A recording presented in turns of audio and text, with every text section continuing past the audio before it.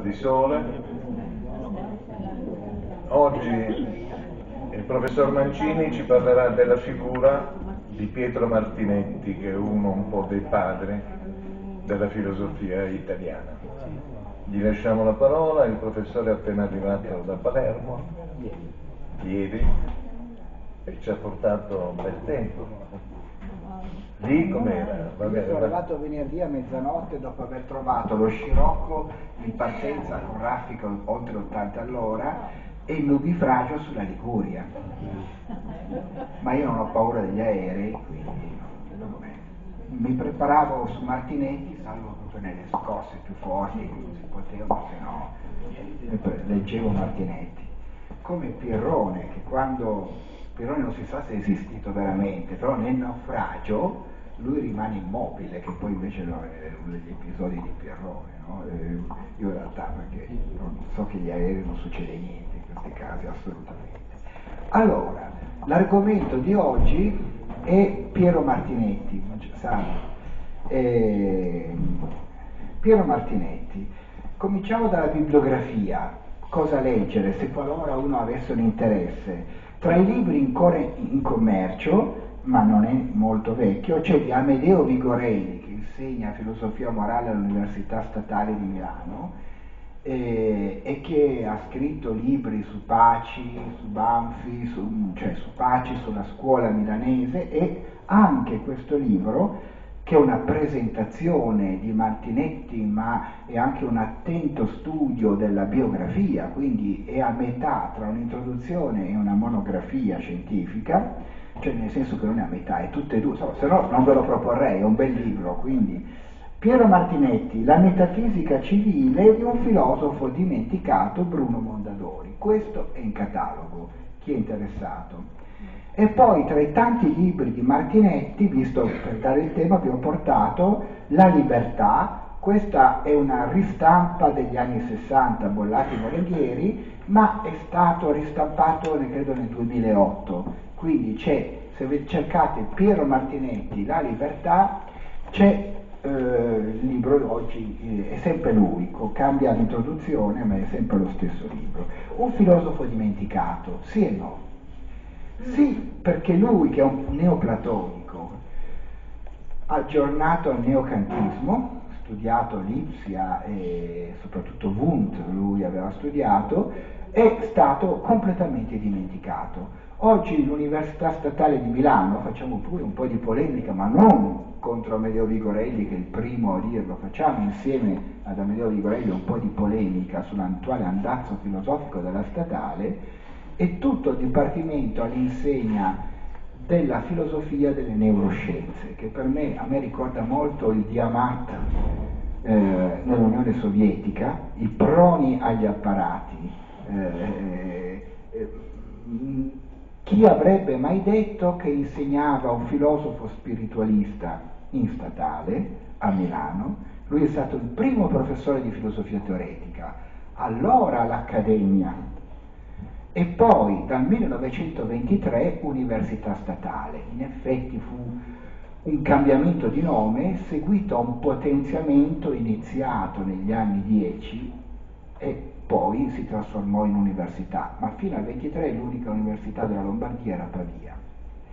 E già nel 1906 però Piero Martinetti, conseguita la, la libera docenza, con, come si chiamava allora, con il suo libro più noto, Introduzione alla metafisica, 1902, prima edizione, seconda edizione ampliata 1904 e successive ristampe, Ebbene, conseguito questo cattedra di filosofia teoretica, eh, diventa il filosofo milanese. Lui era un po' bizzarro, questo è lui bambino, chi riesce a vederlo. Chi riesce a vederlo, era bizzarro questo canavese, nato a Pont Canavese, eh, da una famiglia di media borghesia canavese, canavesano era austero e povero, quindi la media borghesia canavesana equivale alla piccolissima borghesia milanese, non poteva vivere di, di redditi familiari, quindi eh, eh, eh, appunto Martin.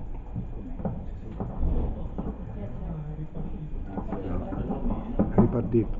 Ecco, Martinetti ehm, eh, diventa un personaggio a Milano fondamentale. Fa lezione alle 8 del mattino, beh, semplicemente appartiene a quelli mattinieri, io no, come dal Prato. Paci faceva lezione alle 11 e si lamentava che era troppo presto, però lavorava di notte, del resto Leibniz lavorava di notte e si svegliava tardissimo al mattino, quindi non è che siano più produttivi chi si sveglia al mattino, ognuno ha il suo bioritmo. Martinetti aveva il bioritmo da contadino e quindi si svegliava all'alba e alle 8, bello bello, lui faceva lezione. E chi c'era? Gli studenti e c'era una parte di borghesia milanese che lo seguiva. Per cui le lezioni di Martinetti erano, parafrasando loro Hegel, la messa mattutina di, eh, di, un'intelligenza laica milanese che andavano a sentire le sue lezioni. Finita la lezione alle 9 iniziavano le loro attività. Dove? Dove in statale, all'università statale. E quindi quale, dove, in che aula non lo so, però all'università statale faceva queste lezioni. Martinetti, dunque filosofo dimenticato, ma fu ben importante. Il suo allievo Banfi prese il suo posto dopo che lui nel 1931 non giurò. Non giurò, fu uno dei cosiddetti dodici, in realtà sono un po' di più, Sandro Gerbi, in un articolo su Belfagor che condensa i suoi lunghi studi, oggi ai tempi dell'album è impossibile, lui ha fatto una ricerca di due anni per vedere chi l'aveva giurato ed è stato un articolo questa ricerca, l'Ambur l'avrebbe bocciato, invece noi grazie a Sandro Gerbe sappiamo che effettivamente furono circa 18 ma eh, compresi una serie, non facciamo la lunga, eh, do, però continuiamo a chiamare i dodici che non hanno giurato, come un po' i dodici apostoli della libertà. 12 su 1225 professori, che allora erano i professori ordinari dell'Università Italiana. Martinetti di questi. Banfi prende il suo posto, ma in nessuna contrapposizione al maestro. Voci cattive che hanno messo in giro un dissidio tra i due al riguardo sono sbagliate e io ho la mia personale spiegazione. Martinetti, che studiò molto il cristianesimo, soprattutto le cosiddette eresie, per, per un laico non sono eresie, le chiese minori, era molto simpatetico ai quaccheri e il suo motivo della simpatia per i quaccheri, la società degli amici, no? esiste anche in Italia Pier Cesare Bori, morto da qualche anno, ex gesuita, era ha fondato a Bologna negli anni 90 la sezione locale della Società degli Amici, quindi chiamiamola Società degli Amici o chiamiamoli Quacker, come Quacker e Cuocca perché all'inizio nelle loro riunioni mistiche tremavano e allora ironicamente li chiamavano i tremanti, i quaker, quindi italianizzato quaccheri.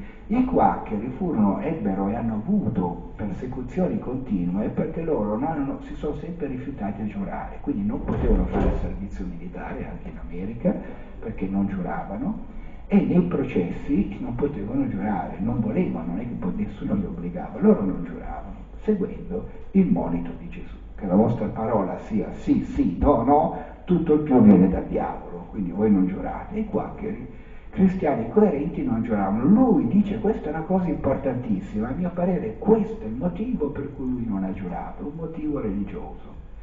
Non perché egli non fosse antifascista, ma non era come un astratto, uno così velleitario, era anche uno molto concreto. E quindi, infatti, egli non ha nulla a obiettare che Banfi non giuri. Perché? Perché Banfi non era un credente, non credeva, in, cioè senza essere ateo allora, però neanche credeva in Dio. Quindi Banfi giurava rispetto agli uomini. E Martinetti, se il giuramento fosse stato solo rispetto agli uomini, avrebbe anche potuto giurare per continuare la sua magistero per i giovani, quando lui si ritira a 59 anni e quindi avrebbe avuto ancora anni di attività e ritirandosi, non avendo la pensione, dovrà lavorare eh, eh, nelle terre, eh, metterà gli alberi a frutta e vino e tra l'altro morirà in seguito a una caduta da un albero da frutta, nel 42 cade e dopo un anno muore, ma in quell'anno riesce a dettare le lettere con fatica, riesce a leggere poco, quindi eh, se non avesse giurato, eh, se avesse giurato non sarebbe caduto dall'albero, eh, sarebbe andato avanti ancora per anni essendo una mente luminosa. Martinetti dunque ha questo allievo Banfi e altri allievi. Uno dei più importanti è Eugenio Colorni, che si laurea con lui su Leibniz, inizia come suo assistente, ma lascia gli inizi promettenti di carriera universitaria, i suoi scritti filosofici comunque sono raccolti con, credo, introduzione di Bobbio pubblicati dal Mulino, quindi un inizio che ha lasciato degli scritti Eugenio Colorni, e eh, milita nel centro interno socialista con, di Milano che si riuniva in via Telesio, via Bernardino Telesio, con, con, ehm, eh, con, diretto da Rodolfo Morandi e con Lelio Basso e dopo l'arresto di Morandi eh, lui per un anno lo preside lui finché poi arrestano anche lui. A Ventotene scrive, come sappiamo tutti, no? insieme a Rossi e Spinelli, il manifesto del federalismo, goffamente, maldestramente, per me fastidiosamente celebrato su una nave militare poco tempo fa da, da, da Merkel, Renzi, chi era, De Voland, orrendo. Meno male che non c'è Martinetti perché col suo brutto carattere che aveva si sarebbe veramente arrabbiato. Non par- Colorni non parliamo. E allora, perché Colorni si laurea con Leibniz perché suscita questo interesse da, suscitato da Martinetti e perché diventa federalista come immediata conseguenza della, dell'impostazione politica statuale di Leibniz e di Martinetti e che nasce da questo. L'io è qualcosa di indivisibile. Vedremo la critica di Martinetti a Leibniz a riguardo, ma ne mantiene l'operativa indivisibilità e questo fa sì che la coscienza sia un tribunale inviolabile. No, l'io non risolve in sé la soggettività perché ci sono le formazioni superiori di soggettività, tra cui anche lo Stato, tra cui la coscienza morale come regno dei fini, il regno della libertà, ma le formazioni superiori, più elevate nel cammino verso l'uno che è la verità suprema, sono hanno la struttura di accordi intermonadici che mai violano l'io. Quindi uno Stato rispettoso di questo è uno Stato che ha un assetto federalista. Quindi un, una, un mondo unificato planetario non è un unico grande Stato, ma una struttura confederativa, federativa. Ecco che quando Colorni, arrestato a Ventotene, non sa cosa fare tutto il giorno, dico scriviamo un manifesto, scrive un manifesto del federalismo. L'idea filosofica dei tre la portò Colorni, questa idea veniva da Martinetti. Vedete quante cose. Gadda. Chi c'era alle 8 del mattino? L'ingegner Gadda, che pensò anche di laurearsi in filosofia e che seguiva le sue lezioni, che assume anche lui questo carattere del Dio, e io ritengo, con l'ironia di Gadda che piega tutto, quando nel pasticciaccio brutto di Via Merulana definisce la casa il 19 diciannovesca, un po' scherza, no? Eh, se avesse visto i negozi che non avendo un'idea mettono l'8 di via tal dei tali, il 18 metto come titolo nel negozio, per darsi un tono in realtà dico non ha nessuna fantasia, no? ci sono i negozi, no? il, con il nome e il numero così, che vorrebbero dire qualcosa e non dicono assolutamente niente, invece la casa di via Marulana, che nella fantasia di Gadda, perché Gadda non la vide mai, poi aveva paura che i proprietari si lamentassero con lui non andò mai a vederla prima quando scrisse, no?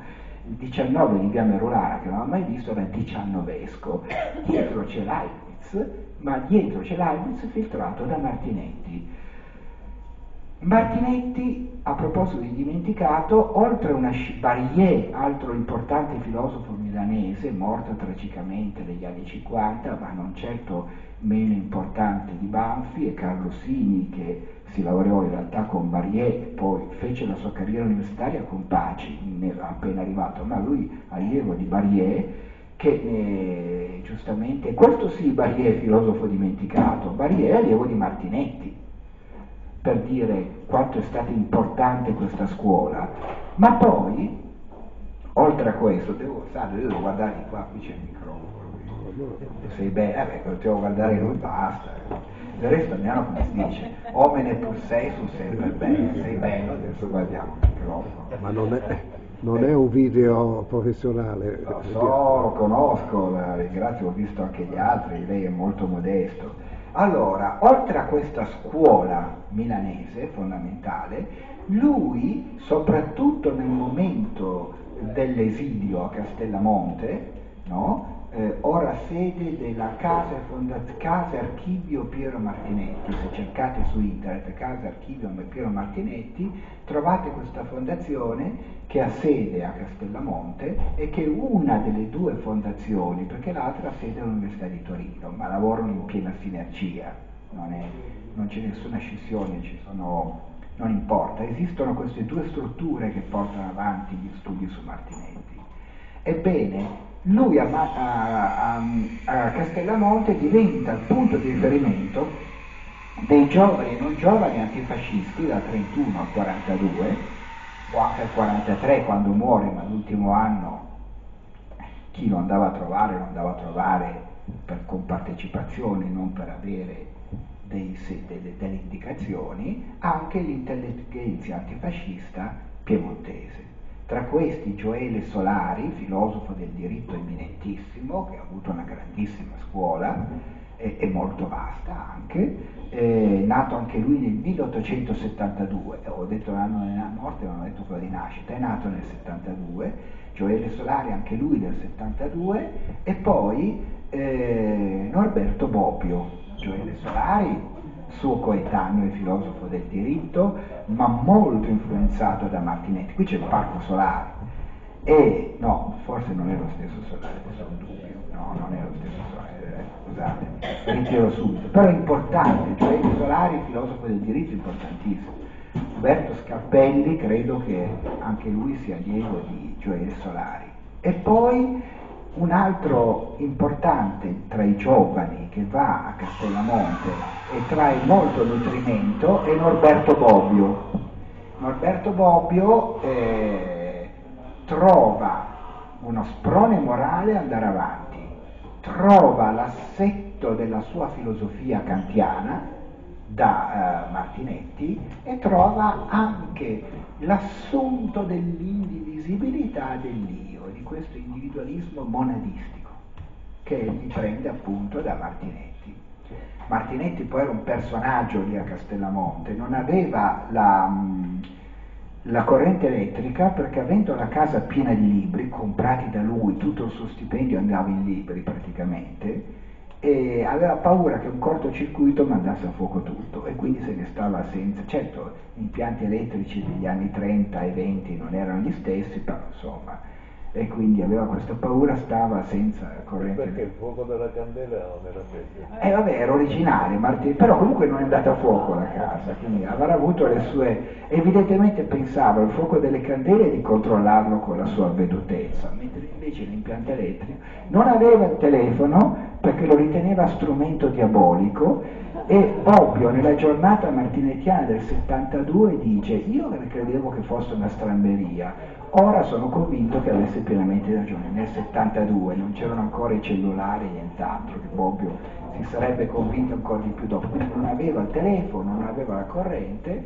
ed era però un punto di riferimento fondamentale di giovani e meno giovani piemontesi. Martinetti è stato questo. E poi veramente dimenticato lo è stato per un po', ma mai completamente, perché morendo nel 1943 immediatamente vengono pubblicate sue opere, tra cui una delle più belle, Kant, che lui aveva già concepito un corso che aveva già sistemato per la stampa, che i fratelli Bocca dovevano pubblicare nel 1943, quindi esce, e poi una serie di altri libri postumi, e poi ancora nel 64 la prima giornata martinetiana a Torino, organizzata dalla rivista Filosofia di Mathieu, nel 72 la seconda giornata martinetiana e poi momenti più recenti. Eh, nell'ultimo deca- decennio Morcelliana ha pubblicato alcune cose, Gesù Cristo e il cristianesimo, quest'opera del 34 se abbiamo tempo ne parleremo, e Ragione e Fede, un'antologia che egli fece uscire in un primo momento prima della guerra e poi subito dopo la sua morte viene pubblicata e poi verrà ripubblicata da Guida ancora nel 72 Nel 72 per i 100 anni escono altre cose, soprattutto ad opera di Luigi Parison, che si riteneva il suo prosecutore. Luigi Parison a me personalmente più volte l'ha detto, io l'ho conosciuto per Martinetti Parison, perché studiando Martinetti dovevo andare a vedere le carte all'archivio e mi feci fare le due lettere da Bobbio e da Parison, perché Bobbio che ho conosciuto per Panzieri, per il mio Panzieri, Parison che conobbe attraverso Virgilio Melchiorre e, quindi, eh, e che quindi frequentai. Quindi Parison nel 72 pubblica altri libri, ora è una vicenda recente, nell'ultimo decennio sono stati ripubblicati Gesù Cristo e cristianesimo ed emendato in una edizione critica, quindi eh, ragione e fede, prima la libertà, eh, questi tre, e poi sono uscite alcune pubblicazioni, c'è stato l'anno scorso il convegno a Chivasso e Castellamonte a cui ho partecipato internazionale ai tempi lunghi degli atti, chissà quando li vedremo, organizzato all'Università di Trento. E ora, a fine ottobre, io non posso andarci perché sarò a Palermo, eh, impegnato in un altro convegno a Palermo in, che non c'entra, eh, organizzato dal mio dipartimento, ora ci sarà eh, un nuovo convegno su Martinetti organizzato all'Università dell'Insubria sullo Spinoza di Martinetti e la scuola di Milano. Vi devo dire che questa definizione di scuola di Milano a me non piace. Anzitutto è stata scippata alla neoscolastica, alla neoclassica, perché scuola c'è sempre, bisogna sempre dire ma chi è il primo che ha usato questo nome? Il primo che ha usato, anche se non ha copyright, va rispettato. Scuola di Milano si chiamava eh, e si chiama tuttora la neoclassica milanese dell'Università Cattolica di Bontadini, per differenziarla dalla scuola di Padova, no? Poi neotomisti c'erano in tutta Italia, ma c'erano però la scuola di Padova e la scuola di Milano con una querelle tra di loro abbastanza anche pesante e, e contrapposte e quindi questa era. A un certo punto il bravissimo Fulvio Papi, che, eh, che, è molto meritorio per tanti studi che ha fatto sulla linea allievo di Banfi, sulla scuola di Banfi, ha chiamato la scuola di Banfi la scuola di Milano.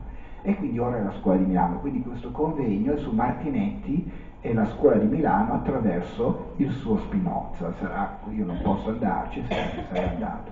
Due convegni in due anni, dunque, e anche questo è un convegno internazionale che avrà la sua risonanza. Su Martinetti c'è un ritorno e quindi non è così dimenticato. Grazie anche naturalmente a Vigorelli, grazie all'editore eh, Morcelliana che sta facendo queste iniziative coraggiose perché parliamo di un filosofo di cui poco si, si sa.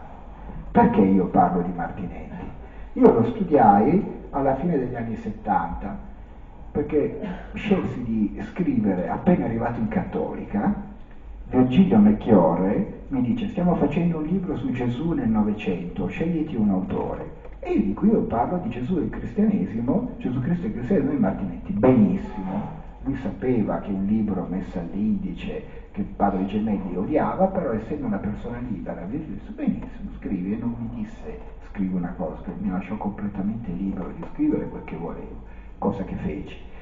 E io studiando Martinetti capii che lo capivo facilissimamente, com'è possibile che uno capisca facilmente un filosofo senza fatica?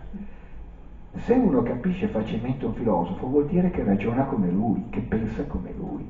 E dico, ma allora, dato che Martinetti pensava come Plotino, capì che dovevo leggere anche le Enee di Plotino, lo, lo lessi dopo un po', e quindi io attraverso Martinetti ridestai la mia genealogia inconsapevole filosofica.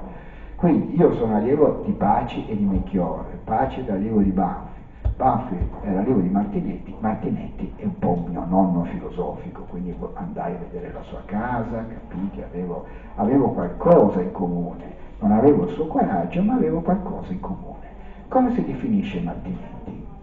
Con l'ironia che anche aveva quando non era irascibile, Così si definisce del breviario spirituale. Il breviario spirituale, invero, un'altra opera ripubblicata del breviario spirituale, non l'ho citato perché a me non piace molto, perché lui l'ha scritto per questo pubblico della borghesia che veniva alle 8 del mattino, però con un intento esoterico, divulgativo, che lo rende un po' non molto riuscito. Per me è uno degli scritti, insomma, a me non, non c'è nulla che non ci sia negli altri scritti.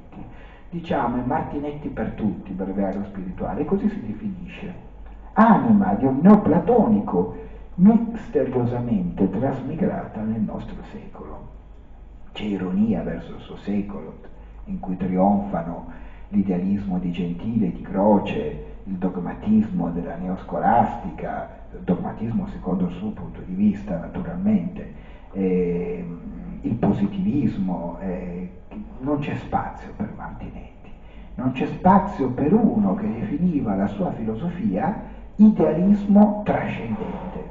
L'idealismo era dominante, ma era dominante nella versione dell'idealismo immanente di Gentile o nell'idealismo storicista di Croce e questo idealismo trascendente era lui che si incuneava. I suoi punti di riferimento erano i neocantiani della fine dell'Ottocento, che lui studia a Lipsia, lui dopo la laurea a Torino va a Lipsia tra il 94, tra il 93 e il 95, forse il 94, non mi ricordo esattamente, in quel biennio comunque, e lì studia Wundt, studia, che c'era ancora, studia Lotze che non c'era più la generazione precedente e studia tanti altri neocantiani che oggi eh, conoscono solo i pochissimi addetti ai lavori.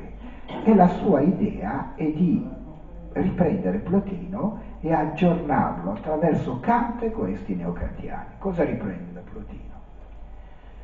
Riprende il fatto che il pensare filosofico, il pensare quindi noetico, quello dell'intelligibile, del nus, muove da un'intuizione. E questa intuizione è ultima, non è fondabile, non è deducibile. Si pensa a partire da un'intuizione è l'intuizione che ci abita, il pensiero che ci abita, il nostro pensiero. E la filosofia la modula nelle sue strutture intelligibili, come al pari l'artista la modula nelle linee dei colori, nel vortice dei suoni. Il filosofo fa questo, ma il filosofo al pari di un artista, al pari di qualsiasi essere umano, è abitato da un pensiero chi di noi è padre o madre ha visto i propri bambini essere abitati improvvisamente da un pensiero e poi ogni tanto nel corso della vita questo pensiero viene fuori. Io mi ricordo per mio figlio eravamo Isola Lunga delle Saline di Trapani, 15 km il giro completo sotto il sole vietato, non si poteva andare, quindi noi abusivamente, non c'è nessuno perché sono saliti quindi con l'acqua dietro, camminando sotto 30 gradi a luglio, eravamo solo noi, nessun altro era così folle di andare a riportare un bambino, a un certo punto Leo, che aveva 8 anni, dice, per me il mondo è un sogno, è qua di Dio, e quando Dio si sveglierà il mondo finirà. Questi sono anche racconti di fantascienza, c'è un racconto di credo di Dick che sia questo, che dice una cosa simile, no? Io lo guardai, non dissi niente, me lo ricordo. E la sua pensione, non lo so, è presto da vedere, ma si vedrà. Che sia quello il suo pensiero, che sia un altro, noi siamo abitati da, da intuizioni che ci prendono, ci afferrano e ci fanno modificare tutto quello che vediamo e sentiamo dopo. Questo è indeducibile. Questo è Plotino. Per Plotino l'uno è all'inizio e alla fine dei nostri pensieri come mistero trascendente. La trascendenza in Plotino e del pari Mantinetti non è una trascendenza ontologica che afferma l'essere di Dio fuori dal creato, lui rifiuta la creazione da questo punto di vista. Dal punto di vista ontologico Martinetti è un monista come lo era Plotino, e quindi un antignostico, uno contro l'agnosi e una serie di trattati dell'Enneadi contro l'agnosi. Plotino era un monista sul piano ontologico, solo l'uno ha verità e vita, solo l'uno è, però è improprio dirlo perché l'uno al di là anche della distinzione tra essere e non essere, solo l'uno è impropriamente E l'uno non è neanche uno, perché già l'uno è un nome simbolico dell'uno, diciamo uno negativo, ma chiaramente anche l'uno negativo è un nome simbolico, no? E quindi l'uno è sempre oltre, è pechina, oltre ogni nostra espressione. E ogni nostra espressione, financo la più elevata concettualmente, quella dell'uno, è sempre simbolica, quindi prospettica, quindi inadeguata, quindi parziale.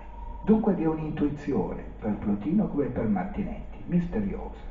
L'uno è a, a monte come mistero e a valle di un cammino di avvicinamento a quest'uno che sempre sfugge, però sfuggendo ci lascia il nostro percorso, ma rimane mistero. Ecco la trascendenza. La trascendenza dell'idealismo martinettiano è la trascendenza di un mistero. Martinetti è lontano dagli Jaspers perché lui era irritato da questa nuova moda dell'esistenzialismo degli anni venti, non gli piaceva, però era anche un irascibile. In realtà Jaspers non dice cose molto diverse da quelle che dice Martinetti, ma al di là di questo fatto, comunque in ragione fede in questi ultimi scritti comincia ad avere un'attenzione anche verso questa dimensione dell'esistenzialismo, soprattutto verso Barth, ha un interesse verso l'esistenzialismo teologico di Barth. Ma comunque, al di là di questo, abbiamo un'intuizione, l'uno. L'uno è a monte e l'uno è a valle, verso chi. E, e, e il nostro cammino che cos'è? Il nostro cammino è il cammino del portare progressivamente a unità i lati separati della nostra personalità e le nostre relazioni umane. Noi nasciamo isolati tutti dagli altri, ci troviamo in prima elementare in una classe o anche adesso l'asilo o addirittura l'asilo nido, inizia la costruzione dei rapporti termonadici L'adolescenza è molto simpatica e comica perché uno vede negli adolescenti e nelle adolescenti lati completamente separati. Il bambino che sopravvive, il nuovo più il barbaro, gli unni, no? eccetera. Uno vede tutti questi lati separati ed è buffo, è bello. Poi piano piano la costruzione della personalità, all'università si vedono ancora i bambinoni, per esempio, grandi grossi ma che sono ancora bambini per certi aspetti, no? ma poi diventano, rivedendoli dopo anni, diventano tutti adulti con il loro lavoro, la loro. Io mi ricordo in aereo mi trovo uno che era veramente un selvaggio e invece era un padre di famiglia col bambino e la moglie lì a fianco passati gli anni, no? Ecco la costruzione degli accordi intermonadici, ecco la personalità come passaggio graduale da una disarmonia a un'armonia. Perché personalità sempre individualizzata? A partire da questo nucleo che è l'io. E qui, oltre che Plotino, entra in gioco, devo guardare però, ho ancora un quarto d'ora, giusto no? No, mezz'ora, no, no, buono, buono. Ho ancora, eh, entra in gioco Kant, studiato attraverso i. Uno soprattutto Lotz e Wundt a mio parere, ma ce ne sono anche altri.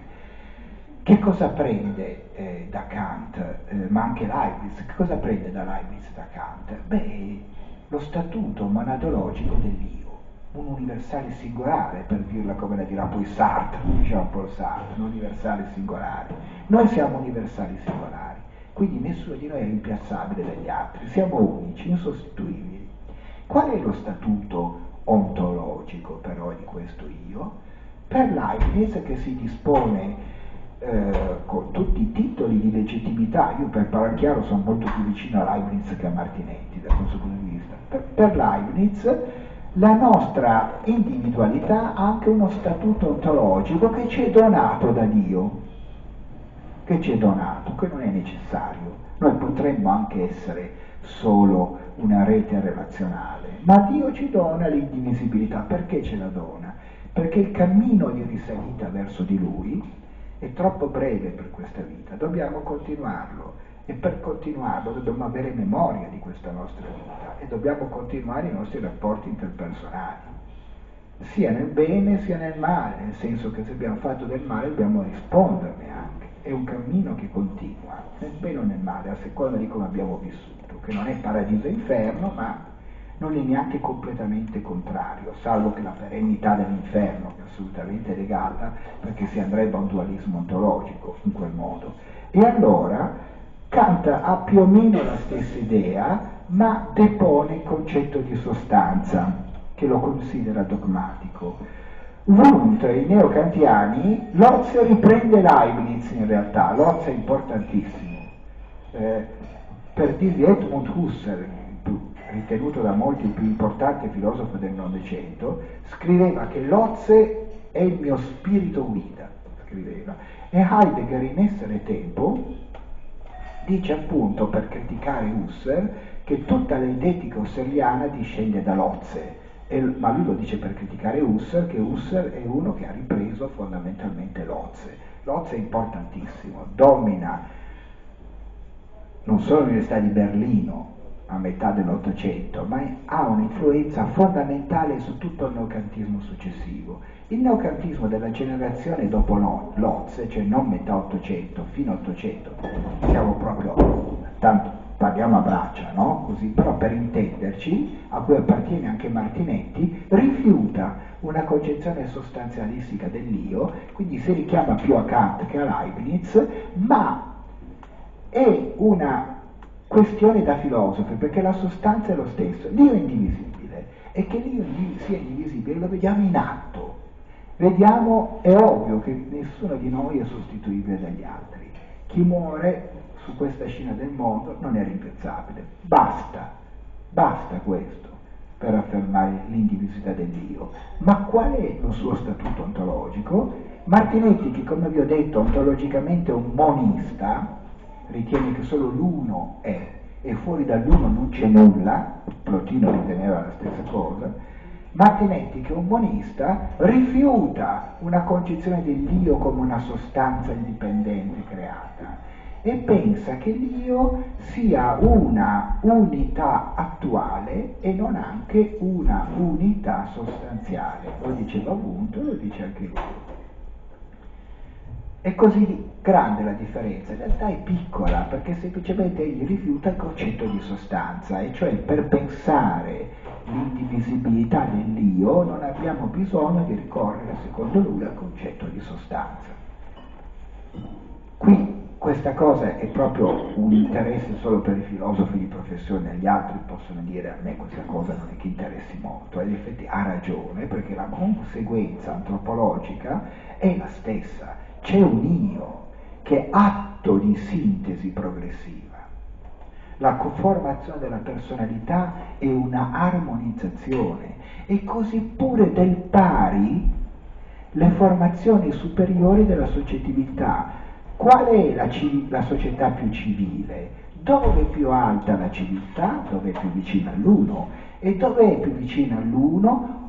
Dove i possibili si armonizzano tra di loro, si connettono, dove le antitesi cedono il posto alla compossibilità, dove per esempio la guerra cede il posto alla pace, non la pax romana, la pace dinamica, la pace suscitata dagli antitesi che invece diventano compossibili. Questo è per Martinetti la, il percorso della verità, andare all'uno vuol dire elevarsi dalla separatezza alla, eh, alla, alla sintesi come armonia di possibilità, armonia dinamica che sempre mai elude il conflitto e lo annulla, ma non nasce alla lacerazione come ultimo. Uno degli scritti che Martinetti non pubblicò, io lo lessi inedito, ma nella trascrizione di Emilio Agazzi, di cui ora vi dirò subito qualcosa immediatamente, infatti l'ho scritto L'amore, poi un editore milanese decise di pubblicarlo. Se mi avesse chiesto il favore ho detto non pubblicarlo, perché già Martinetti dimenticato, poi se lo leggono le donne questo libro è pieno di misoginia, ma misoginia ingenua, pregiudizi, eh, dice l'erotismo vuol dire avere i guanti sopra il gomito, i guanti sotto il gomito sono volgari, cioè dice cose, eh, immette, dice anche cose strane. le prostitute hanno di solito la voce rock, e come faceva a saperlo? Io leggo anche Megray Detective, quindi il detective dice tu come fai a sapere questa cosa? Non, c'era, non c'erano le televisioni, le cose, quindi non c'erano i servizi. Boh, e poi, quindi questo libro però, che era meglio non pubblicarlo per non suscitare antipatie, per non dare una prova che uno ammuffito, vecchio, invece dice una cosa bellissima sull'amore che riguarda l'erotismo, che l'erotismo sta tra una sensualità irrelata e l'amore libero che è l'armonizzazione di questo nel rapporto con l'altra persona. L'amore è il culmine dell'erotismo e l'amore responsabile è la libertà, dice questo. Uno può dire, senti chi parla, lui non si sposò mai, fu come si dice a Palermo un grande femminaro, e così, aveva però questa sorella che lo dominava che visse con lui fino all'ultimo, dominato dalla sorella che però lo accudiva, poverina, bravissima, di cui lo dominava, no? che era il suo angelo custode e, e forse non aveva spazio per, eh, nella sua vita per portare una donna fuori. Ebbe un amore lungo che però non coronato, lei ebbe poi molto astio per questo fatto, quindi eh, Martinetti però sull'amore dice questo, l'amore come libertà e l'amore come sintesi. Che cos'è la libertà? Ecco che entra il mio grande asso, te, asse tematico che è la libertà, il pensiero dell'uno. Pensare dell'uno, abbiamo detto, è elevarsi in questo percorso e questa elevazione è un cammino di libertà e qui ci occorre inserire la sua idea di libertà. Però prima devo dire quello che continuavo a dimenticare, e che è il motivo per cui vi ho proposto Martinetti oggi. Vi ho proposto Martinetti oggi perché uno dei miei allievi, eh, dei miei maestri, da me più amato, Emilio Agazzi, scrisse che insegnava filosofia della storia in cattolica. Io sono austro-marxista, ma io so, eh, in, in, statale, in statale, che insegnava filosofia della storia in statale, Emilio Agazzi, io sono austro-marxista ma perché l'ho imparato da lui a lezione, io sono un austro-marxista gramsciano perché era lui che facendo le lezioni su Gramsci, su carcere, diceva che il pensiero di Gramsci non è affatto incompatibile con quello di Rodolfo Morandi, l'austro-marxista italiano, e con questa prospettiva. Porto avanti, insieme agli altri due allievi di Agazzi, Marzio Zanantoni eh, direttore della casa editrice Unicopri e Amedeo Vigorelli una prospettiva di questo tipo. Noi tre cosa abbiamo fatto? Abbiamo preso la tesi di laurea su Martinetti di Agazzi dell'anno accademico 43-44, l'abbiamo chiesto l'autorizzazione alla figlia Elena Gazzi e ora esce in 500 pagine, 550 pagine da Unicopri il mese prossimo Emilio Agazzi La metafisica di Piero Martinetti. La sua tesi di laurea di un 23-24enne, bellissima, noi abbiamo deciso di ripubblicarla così com'è, e perché? L'idea è venuta da me, perché Emilio Agazzi mi diede tutti i dattiloscritti che aveva trascritto di Martinetti, quindi io quando andai a Torino andai a vedere solo quello che lui non aveva trascritto, che era pochissimo. Mi fece un grandissimo favore. E poi mi diede da leggere la sua tesi. Io dissi, professore, la sua tesi è bellissima, devo dire, è più bella di Alessio. Si lavorarono insieme con lo stesso professore Franco Paolo Alessio, tuo collega di filosofia medievale statale, Emilio Agazzi. Ora, se voi leggerete Martinetti, Martinetti è una prosa cristallina e di una chiarezza cristallina, lo era a lezione, lo era quando scrive, il bravo Alessio scrive un libro complicato su Martinetti, cioè si legge facilmente, cioè Alessio aveva studiato, perché in prima battuta non si capiva niente, poi studiando si capiva qualcosa. E dico, professore, il suo libro si capisce, perché non l'ha pubblicato? E lui mi guardò e fece così, mi ricordo palesandomi tutta la sua debolezza umana, cioè la sua timidezza, la sua insicurezza. Emilio Gazzi pubblicò pochissimo, pubblicò qualcosa, ma pubblicò pochissimo perché non si sentiva mai pronto. E allora ho detto, sentite, questa tesi pubblichiamola, ora esce, verrà presentata a quel convegno, ed ecco che Martinetti torna in questa tesi di laurea coraggiosissima, perché lui si laurea nell'anno accademico 43-44, non parla mai di nazifascismo, ma emerge in modo lineare e trasparente, una tesi coraggiosissima, contro la guerra, come criterio contro la guerra, contro l'immoralità della guerra e riproponendo con un'analisi puntuale la filosofia di questo pensatore e riproponendola nella chiave della libertà. Il giovane Emilio Agazzi era vicino a giustizia e libertà, studente universitario. Perché libertà? Qual è l'idea martinettiana di libertà? È una sintesi tra Plotino e Leibniz e Kant, fondamentalmente. La libertà e l'energia muoviamo dall'uno, dunque. Abbi- abbiamo capito questo, solo l'uno è, anzi è ultra essere.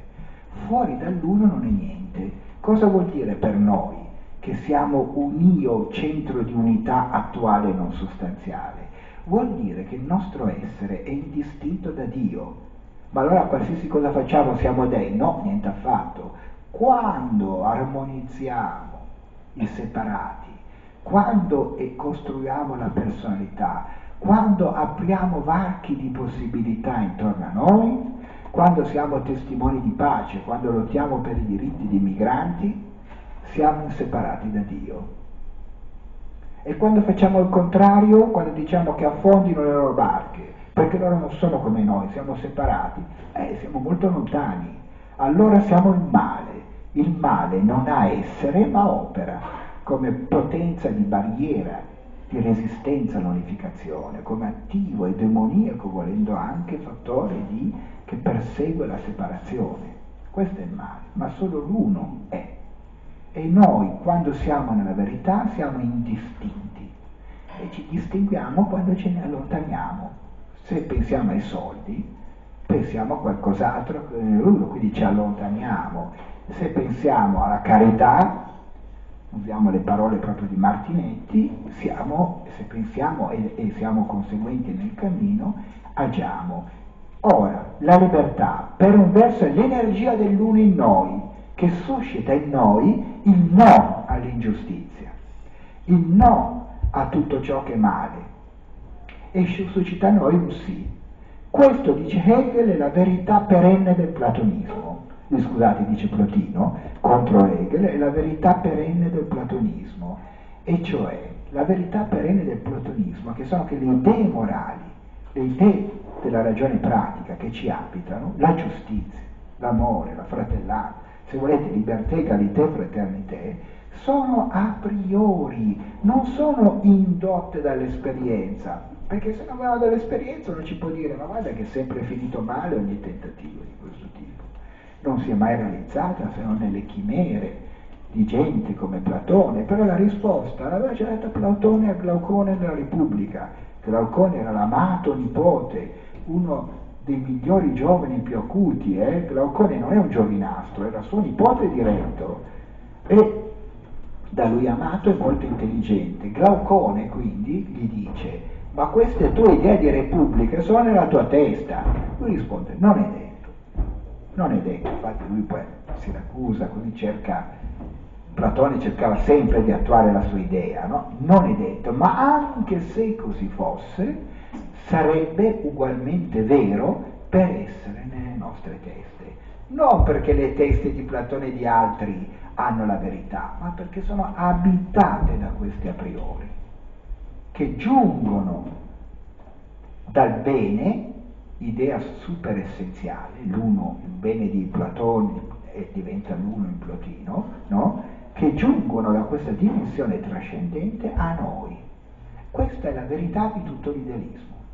L'idealismo nasce su questo, dice ai, non, ai, ai realisti, questi a priori vivono in noi, ci abitano, sono appunto veri a priori, non sono tratti dall'esperienza, ma rendono intelligibile l'esperienza. Senza questi l'esperienza umana non sarebbe intelligibile. Senza libertà, egalità e fraternità noi non, possiamo, non abbiamo gli assi dimensionali per intendere la realtà.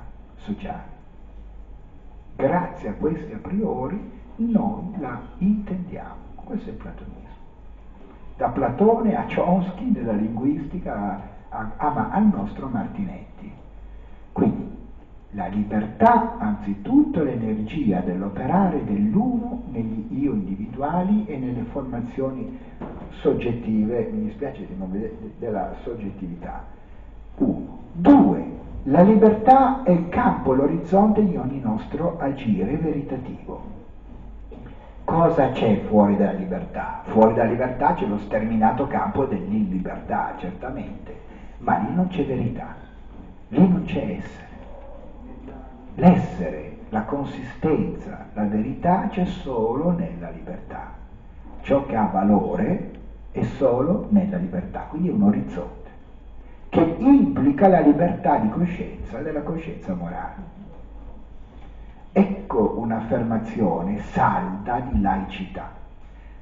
Mi dimenticavo di dire, politicamente Martinetti eh, impropriamente lo si apparenta a Tucur la destra storica risorgimentale, in realtà lui è un mazziniano, non è affatto, non appartiene alla destra storica risorgimentale, perché Martinetti, il pensiero politico di Martinetti è mazziniano, è proprio pienamente mazziniano.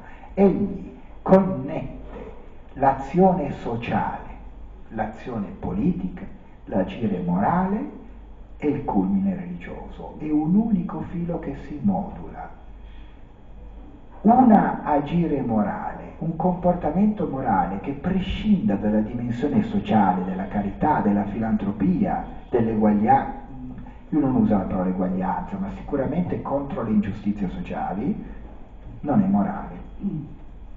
Ma chi agisce contro le ingiustizie ha già in sé un principio di unificazione politica e questo è morale.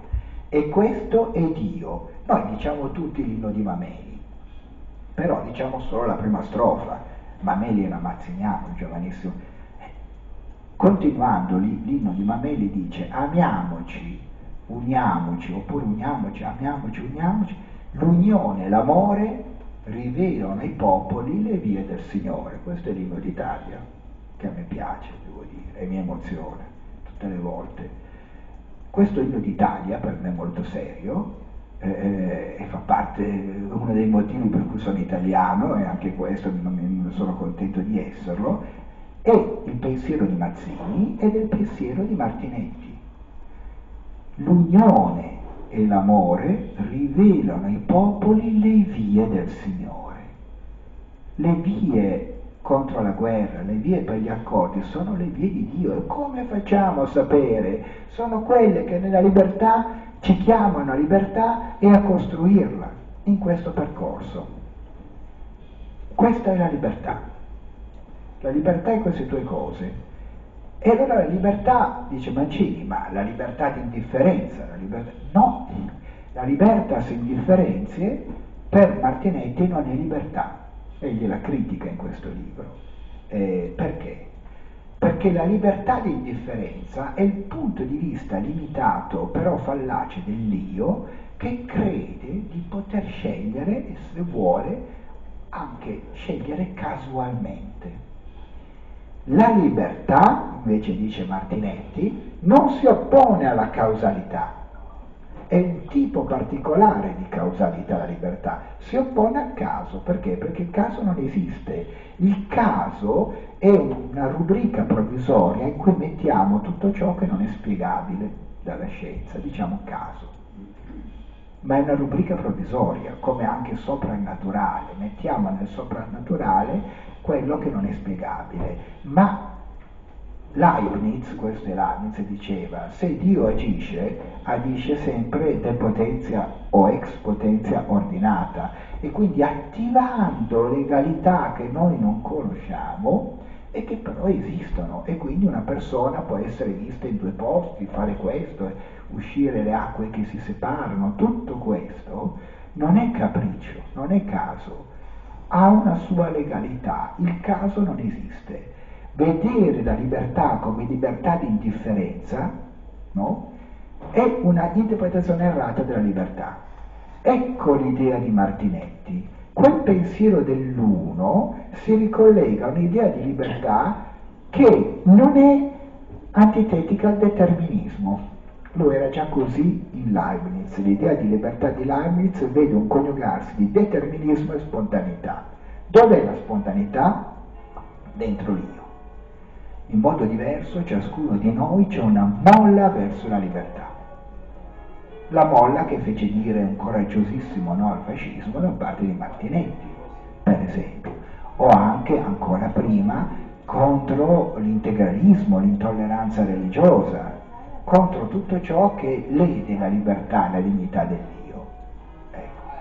Da una parte questa è spontaneità, quindi la libertà è un atto spontaneo che viene dall'uno, ma non vuol dire casualità, capriccio, libertà di indifferenza.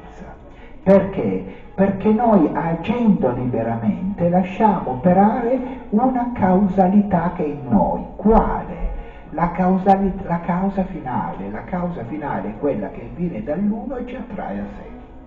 Leibniz usava una bellissima formula che era, riguardo alla libertà delle monadi spirituali, inclinare senza necessitare. Questa azione dell'uno inclina senza necessitare Martinetti non segue questo, ma segue invece un pensiero che determinismo e libertà dei fini sono due lati della stessa realtà. Il mondo degli io spirituali è un regno di fini, così era anche in Kant e così per Martinetti, in cui la libertà che lo accorda. Quindi, seguendo la nostra inclinazione che ci fa attrarre verso l'uno, noi operiamo liberamente, ma anche necessariamente, perché necessariamente se noi ascoltiamo la voce dell'uno in noi, troviamo un'indicazione, una via, un compito. Questa è stata la forza di Martinetti. Volutamente non vi ho detto alcuni episodi della biografia di Martinetti, era per finire. E la forza lui la ebbe nella sua vita? Sì, perché eh, nel momento in cui eh, arriva il fascismo, 24, 25, 26, ecco che Martinetti trova all'università statale, ecco che Martinetti trova la forza dei suoi no. Anzitutto, 1926, egli presiede la Società Filosofica Italiana, la cui sezione lombarda per anni è stata presieduta da Alessandro Ghisalberti, allora regia Società Filosofica che allora come oggi ogni due anni fa un convegno e allora come oggi chi la presiede è una rotazione, non è il più importante presidente nazionale. Martinetti era il presidente per una rotazione. E Martinetti però decide come argomento del 26 la libertà e chiama Buonaiuti, il sacerdote modernista scomunicato. Ecco che padre Gemelli della Cattolica, che lo odiava, veramente aveva un odio per Martinetti, chiede che eh, l'affronto alla coscienza cattolica della città di Milano, Bonaiuti, chiede alla polizia di intervenire e chiudere il convegno. La stessa richiesta fa Armando Carlini, giovane ultrafascista allievo di Gentile, poi in seguito democristiano ed esistenzialista, ma allora ultrafascista, no? E chiede anche lui che sia sciolto questo indegno convegno oltraggio alla città di Milano fascista. Viene la polizia e lo scioglie il secondo giorno cioè, o meglio arriva la polizia e Martinetti interrompe il convegno. Viene chiusa la società filosofica, nasce un nuovo organismo, Gemelli e Gentili si mettono insieme, epurano tutti coloro che non sono gentiliani e, e, e neotomisti e l'archivio di filosofia pubblicherà gli atti dei convegni successivi. No? Questa è la cosa. Martinetti tiene duro lì. Martinetti poi fa le lezioni su Gesù Cristo, che saranno poi il libro Gesù Cristo e Cristianesimo. E anche lì, di nuovo, quando esce il libro pubblicato a sue spese, perché si è già ritirato nel 1934, viene messo all'indice. È il cardinale Schuster di Milano che chiede che venga messo all'indice. Dice a Mussolini, Mussolini stava per venire a Milano, in visita, dice guarda che se tu non metti all'indice, non fai arrestare Martinetti per questo, io non faccio accendere le luci del Duomo contro di te.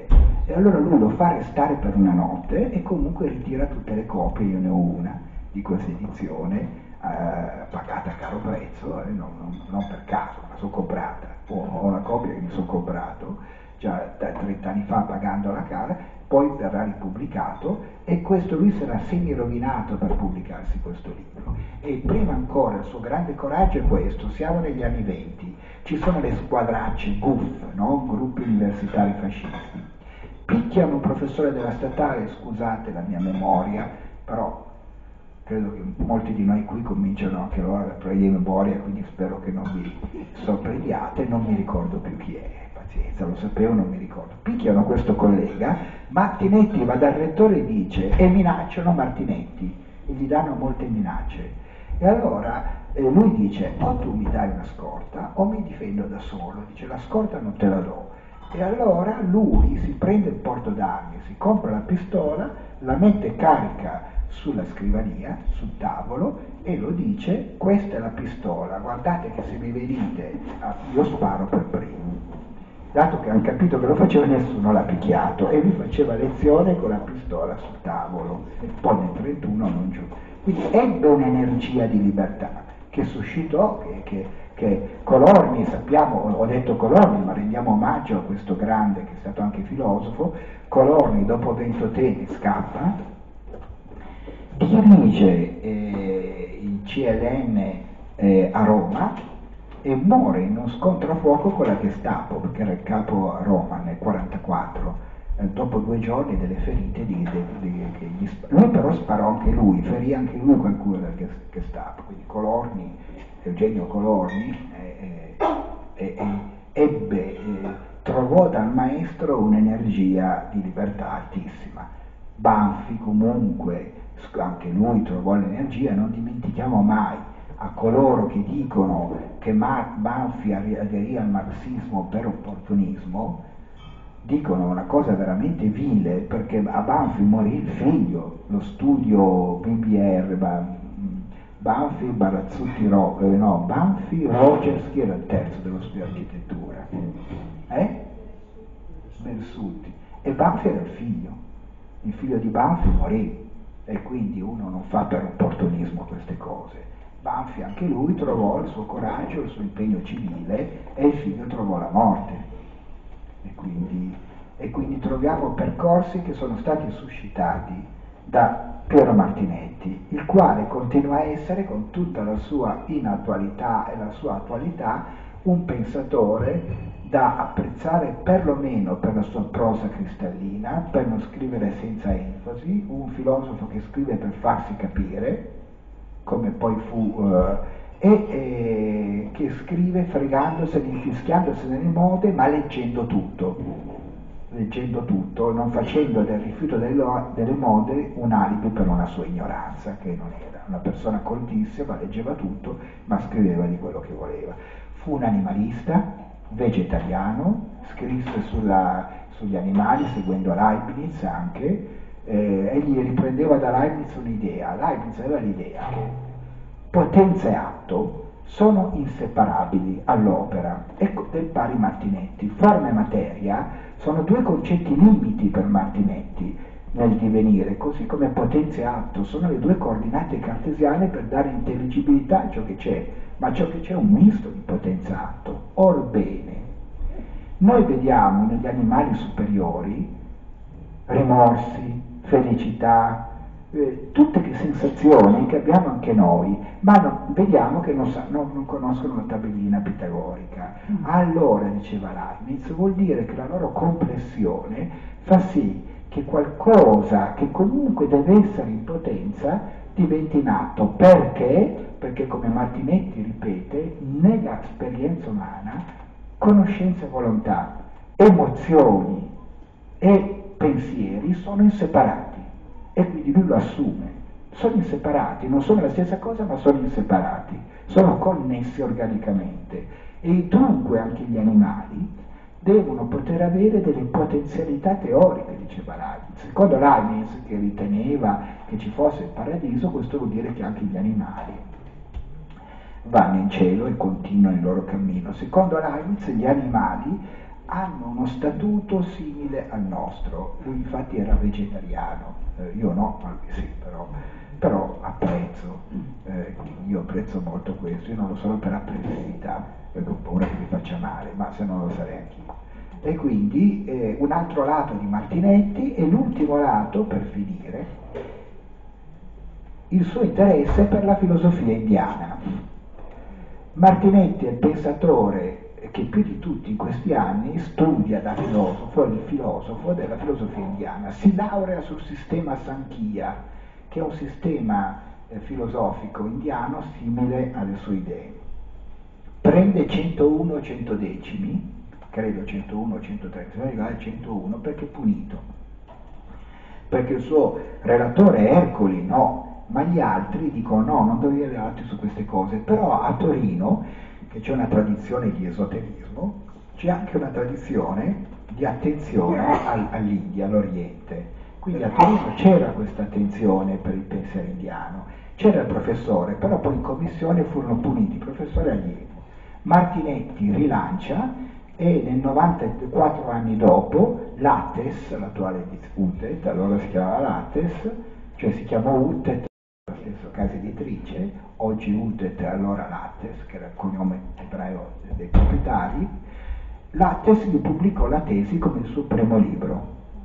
E quindi se io quando quelle poche volte che ho visto giovani che sono stati penalizzati alla volta di eh, laurea, non da me, qualcuno da qualcun altro non ha avuto la laurea, guarda, senti, tu hai una possibilità, fai come Martinetti, porta avanti la tesi, che è bella, che pubblica e, te, e, nessuno dirà quanto vai preso, guarderanno il libro e diranno quanto vale il libro, chi se ne frega quanto hai preso nella tesi, no? Metti a tacere tutti pubblicando un bel libro, cosa che fece Martinetti.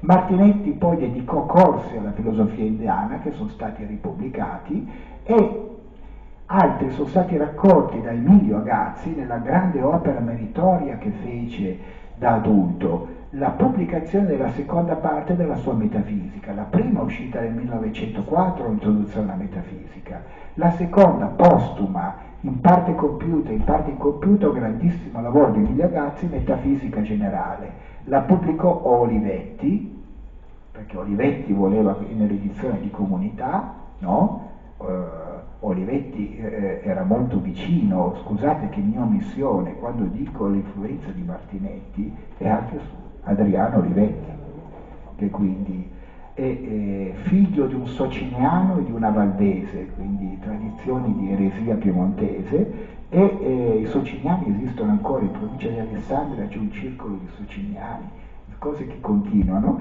figlio di un, una, un sociniano, Camillo Olivetti, fondatore di Olivetti, e di una valdese, non mi ricordo il nome, lui era invece vicino a Martinetti come idee, come, come, sensibilità e quindi pubblicò questi due volumi. Una parte del secondo volume sono i suoi inediti sulla filosofia indiana e altre cose le ha pubblicate quell'editore di Via Santa Valeria, come si chiama? Cus.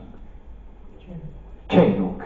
Celuk ha pubblicato un libro sull'amore e la filosofia indiana, questi due inediti, li ha pubblicati da Celuk. Fine della mia presentazione.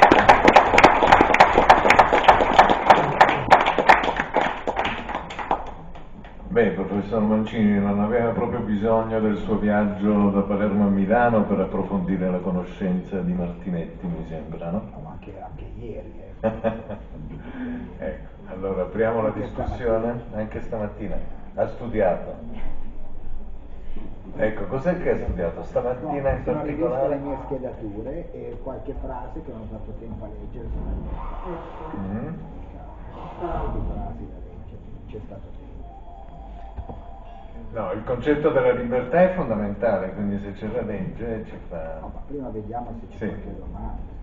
Va bene, lasciamo la parola alla discussione, qualcuno vuole aprirla? Tra i libri su Martinetti ce n'è uno di un suo collega avvocato, l'avvocato Guido Bersellini Riveri, mm-hmm. che con l'introduzione di Gustavo Bontadini...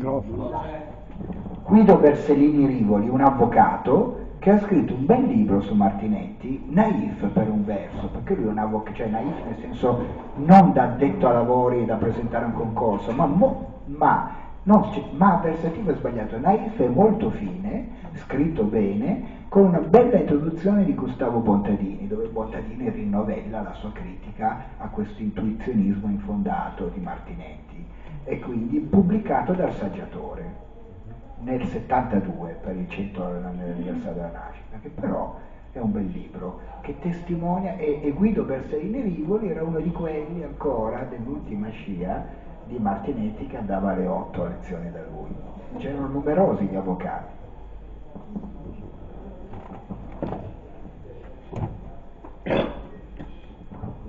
solamente fare una considerazione il fatto che il quadro che lei ci ha raccontato eh, narra di un periodo estremamente nefasto per la, sia per il fascismo, per la guerra eccetera, uno si chiede come mai cioè, in queste situazioni così disastrose la gente possa continuare a pensare, a produrre eccetera. Cioè, rispetto alla situazione attuale tutto sommato eh, di molto più, malgrado che tutti si lamentino, in realtà molto più facile.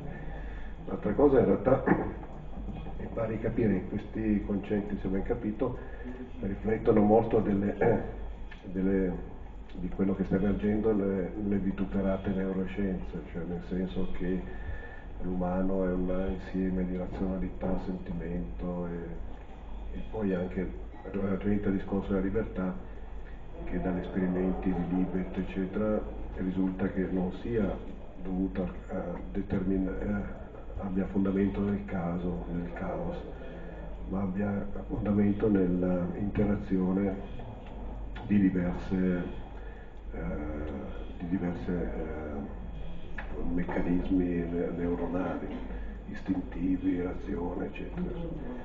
Cioè, quindi eh, la libertà che viene in questo momento studiata a livello di neuroscienze non deriva dalla, da un meccanismo casuale, anche se ci sono i meccanismi casuali, ma dall'interazione di diverse eh, determinazioni di diverso livello istintuale piuttosto che razionale, eccetera. Quindi in realtà alcuni eh, concetti penso che possano essere autorizzati. Grazie. Eh, allora, eh, quando le scienze, eh, la rivista Le Scienze che fa i supplementi trimestrali, no? Eh, che sono vere e proprie monografie, ah, eh, lo fece sulle neuroscienze a metà degli anni 90, eh, ci fu un articolo, mi sembra più di un articolo, che trovarono, che dissero che ci sono due chiavi per intendere queste nuove scoperte. Quella riduzionista, e quella leibniziana dell'armonia prestabilita. La scoperta di corrispondenze tra connessioni neuronali ed emozioni non dice che l'uno determina l'altra, dice che sono in connessione. Il dire la reductio ad unum è sempre un plus irrazionale, nel senso comunque extrarazionale, che nasce da altre motivazioni. Da quali motivazioni ha? Dai soldi, da chiedere più fondi per la ricerca, dal potere, dall'affermare uno status, un paradigma di discussione per cui tutti si deve entrare in quel paradigma, tutti si deve far finta di credere che Damasio è un filosofo, eh, eh, eh, tutte queste, eh, non facciamo nomi, si, si, si inventano delle convenzioni, no? E la reduzione ad unum è un'imposizione di potere, pure semplice, di per sé. La verità, la conoscenza, c'è quando si copre, scoprono corrispondenze. L'ipotesi leibniziana dell'armonia prestabilita, e Leibniz dice ipotesi, la chiama sempre ipotesi dell'armonia prestabilita, è quella che afferma questa corrispondenza senza dire l'una determina l'altra, ma mostrando un nesso reversibile bidirezionale. Quando vuoi studiare come queste attività neuronali modificano l'emozione, fallo. Vuoi studiare come le emozioni modificano l'attività neuronale, fallo pure. Perché vuoi affermare che una determina l'altra? Sei già fuori dalla verità sei già a qualcos'altro. Martinetti è nella stessa linea, essendo un antidualista ontologico, corpo e spirito non sono sostanze separate, non sono sfere separate. Corpo e spirito sono dimensioni intelligibili di ciò che avviene, che insieme corporeo e spirituale, ma è separabile. Ma la verità va nella direzione dello spirito. Perché? Perché la direzione dello spirito è quella dell'armonia dei compossibili, della sintesi e non è quella della separazione. Il cammino della verità è spiritualizzare il corporeo. Freud ha scoperto il grande continente dell'inconscio, Martinetti è abbastanza interessato a questo, lui dice, lui lo chiama subconscio, non vuole, non accende, del resto anche Sartre lo chiamerà eh, subconscio, anche lui non vorrà l'addizione di inconscio, ma al di là di questo fatto eh, non è sconcertato da questo, perché questo è un allargamento della conoscenza di quella sfera che prima si chiamava semplicemente l'involontario e ora diventa io eh, es io super io, diventa, diventa complessa. Ma qual è il senso di tutto ciò? Il senso di tutto ciò, oltre che partire una terapia da, da patologie, il senso di tutto ciò è l'armonizzazione. Il senso di tutto ciò è questo cammino di libertà, diventare responsabili. L'altra domanda era, in situazioni così difficili? No, certamente eh, non mollare era la rivista, no? Di, non mollare, non mollare il punto escavativo, quindi durante questi anni ci furono grande energia e non solo in Italia, eh, pensiamo eh, durante i bombardamenti aerei al mattino gli appelli degli esami c'erano e cosa facevano? Noi, la generazione prima ce l'avrà raccontato, cosa facevano? Studiavano nel rifugio e al mattino andavano a fare gli esami, avendo passato la notte in bianco, professore nel suo rifugio e studente nel suo rifugio, si andava a fare l'esame, gli appelli si facevano. Gli appelli si sono sempre fatti e c'è una foto molto bella di Jaspers, celeberrima, la sua prima lezione che è sulle colpe della Germania, lui in piedi su un cumulo di macerie in questa aula di cui ci sono solo in parte i muri esterni così, no? E le macerie, e lui nel punto più alto delle macerie, utilizzato come pedana, agli studenti sotto la pioggia, perché non c'era tetto, pioveva, faceva freddo evidentemente, e Jasper sotto la pioggia in piedi su queste macerie in, inaugura l'anno accademico.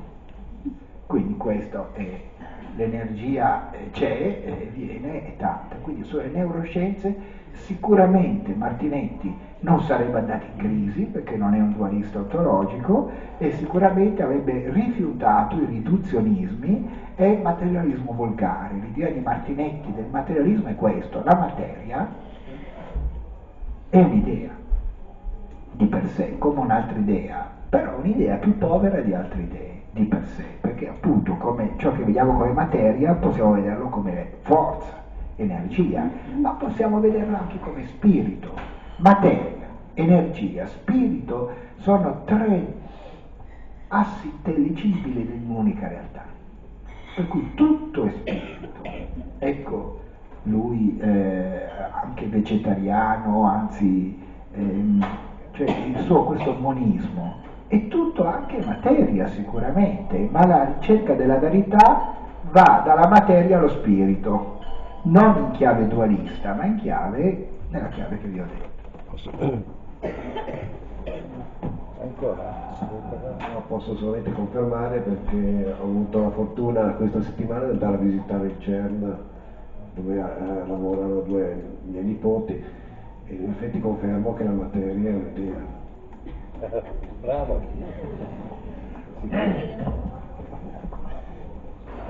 Un'idea che però nel momento in cui si presenta come non idea ma come la realtà diventa falsa. La materia un'interpretazione.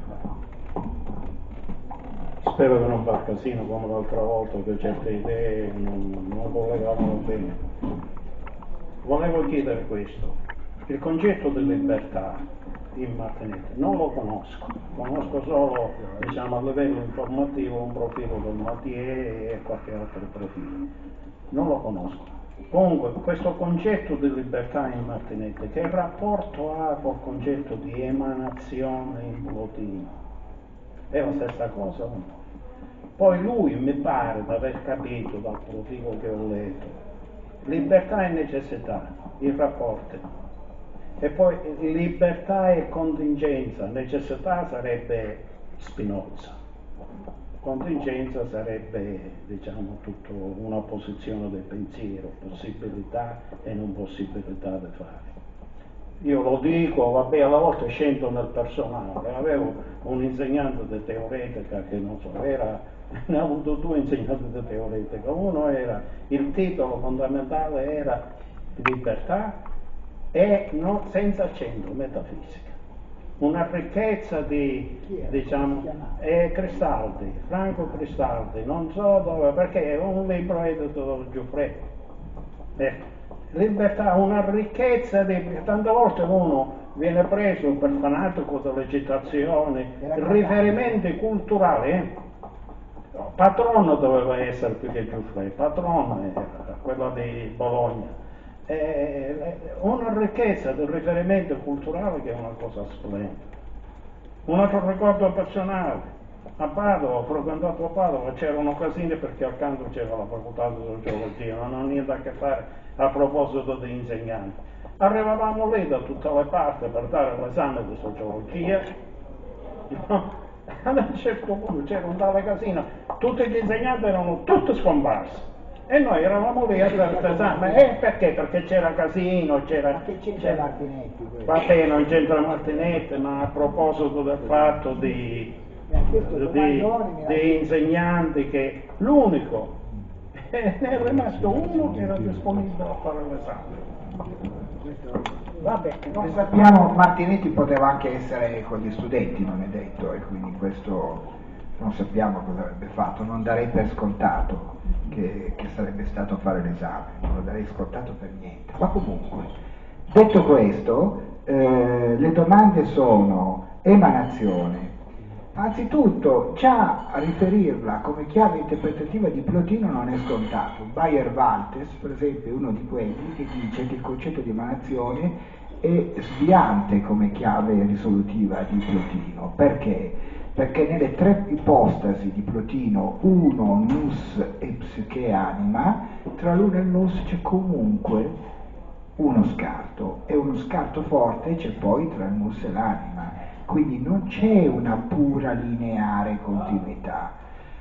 Dunque, eh, e Martinetti, Martinetti parlando di sé si propone come rifiuta il teismo filosofico legato al concetto di una dualità di sostanze, rifiuta il panteismo, assolutamente, perché vi è la trascendenza, e ripropone la sua prospettiva come un panenteismo, però mh, non è un concetto di emanazione che neanche lui usi, è un concetto ambiguo questo di emanazione e quindi è una chiave interpretativa da prendere a mio parere con le pinze. Dov'è la trascendenza in Martinetti? La trascendenza in Martinetti, che questi a priori che ci abitano della libertà, vengono dall'alto e dall'oltre. E nell'alto e nell'oltre si raccoglie tutto ciò che è in quel cammino. Ecco un'altra cosa che non vi ho detto, non vi ho detto i quattro quinti delle cose, chiaramente. Questo uno, questa realtà assoluta, egli la qualifica spesso con questa definizione, omnitudo realitatis. Omnitudo realitatis, pienezza della realtà. L'uno dunque come potenza di raccoglimento di tutto ciò che ha avuto consistenza, che ha avuto verità. Come avviene? Lui dice non sappiamo. Noi non sappiamo come avviene questo raccoglimento, ma diventa il tema poi dell'immortalità in Martinetti, ma sappiamo che ciò che amiamo nei nostri cari che non ci sono più è raccolto. Lui dice, vede come una domanda volgare e meschina quella cosa ne sarà di me dopo la morte, Vede- mentre vede come una domanda profonda e giusta da abitare che è nei miei cari morti. No? Dice tu non ti preoccupare cosa di te, chiediti dei tuoi cari, i tuoi cari, quello che tu hai amato, quello è raccolto. Cosa vuol dire che è raccolto?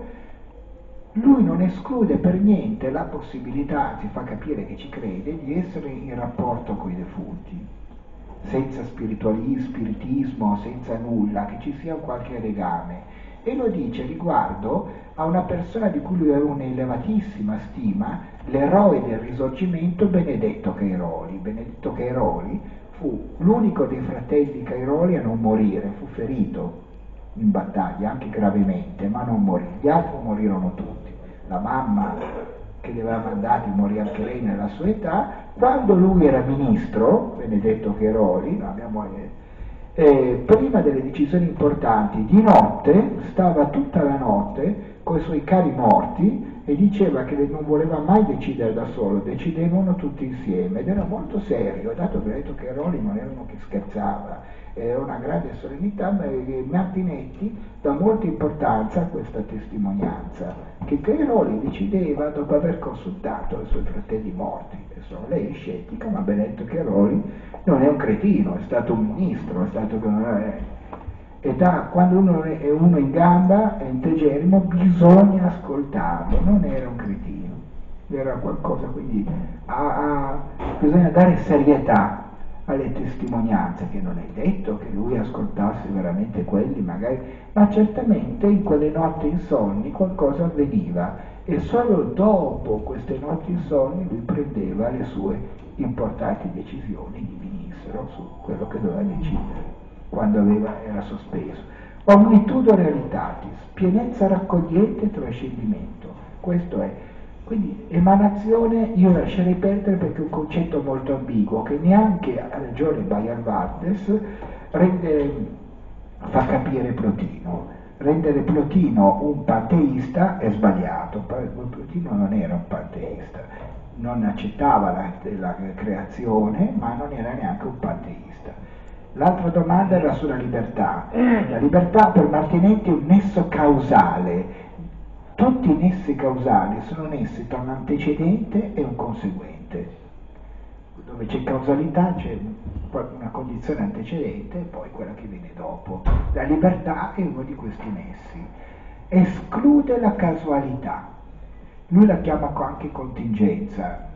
Noi che conosciamo per lo pontifilo, l'esistenzialismo, abbiamo della contingenza un'altra concezione eh, io non ho la concezione, ma comunque la casualità la esclude e quindi la libertà si oppone alla casualità, alla libertas in differenze e non si oppone alla causalità. La libertà è la causalità dello spirito per Martinetti e dunque aderire a ciò che si deve fare attraverso una scelta e intenderlo come libertà e come necessità sono due lati della stessa cosa.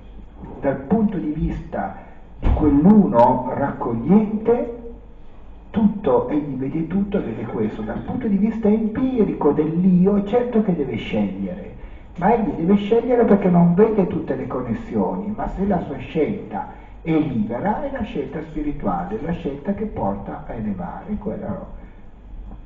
Abbiamo vent'anni siamo fidanzati, vediamo una ragazza che ci strizza l'occhio alla fermata del metro e scendiamo, andiamo dietro, sbagliato, perché tu guarda quei bambini che non nascono più perché quella se ne accorge, dal, dal a fianco esce la fidanzata e, e ti manda a farsi friggere, no? Fine. Ecco che quei bambini non nasceranno, ecco che quelle possibilità non ci sono.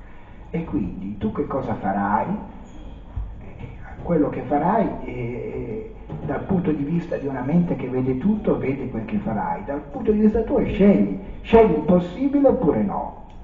Ma scegliere il possibile non è dire io faccio quello che voglio, no, io faccio quello che voglio. Pensa e agisci, e quando agisci fai la cosa che devi fare, quella, e non un'altra. Eh, scusa, me l'ho prenotato io. sì, sì. Eh, No, volevo dire questo, questi tipi di, con, di, concetti, questi tipi di problemi sono la base del diritto, nel senso che um, un comportamento umano per il diritto non può essere considerato responsabile e quindi attribuibile a un determinato soggetto e valutabile sotto il profilo di un'eventuale sanzione se non è almeno composto da due elementi, l'elemento materiale del suo comportamento, cioè l'accadimento esterno che viene rilevato e normalmente va altresì provato, e poi c'è l'elemento soggettivo, oltre a quello oggettivo, quello soggettivo.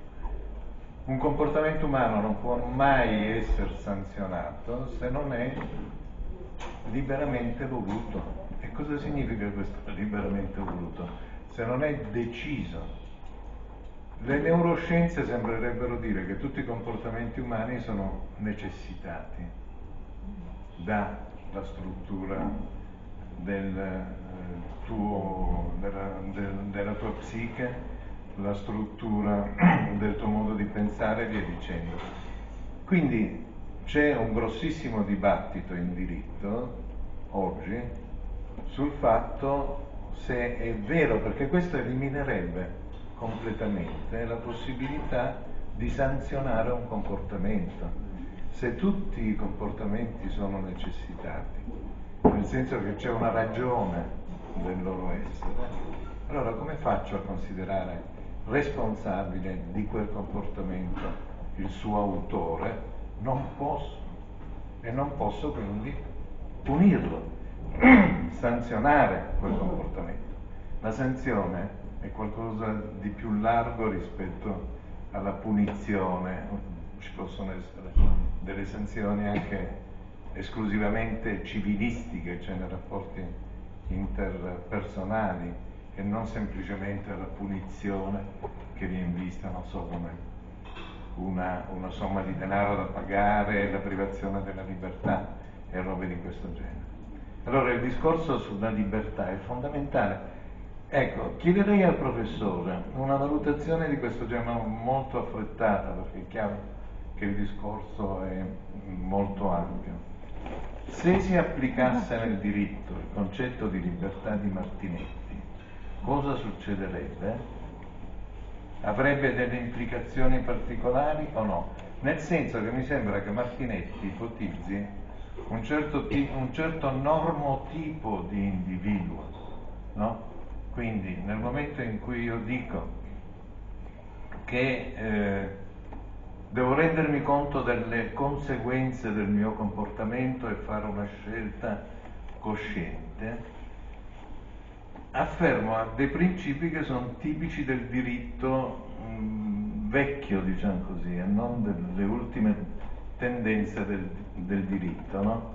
Perché si ipotizza che tutti gli uomini siano assolutamente coscienti nel momento in cui agiscono, vedano le alternative possibili e siano in grado di fare una scelta fra queste alternative e la facciano sempre secondo principi che conformano la vita sociale, quantomeno se non conformano addirittura l'unità dell'essere filosofico.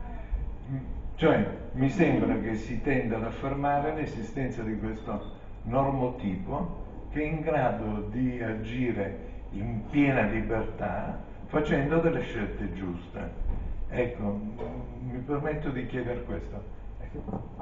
Martinetti per quanto riguarda il diritto era pienamente nella concezione liberale, lui si, è, un, è, un, risorgimentale ancora, lui si identifica pienamente nel percorso da mazziniano qual era del, del, dello Stato unitario, del, eh, libera Chiesa e libero Stato e quindi questo, il diritto per lui e l'ordinamento liberale del diritto non c'è alcun dubbio.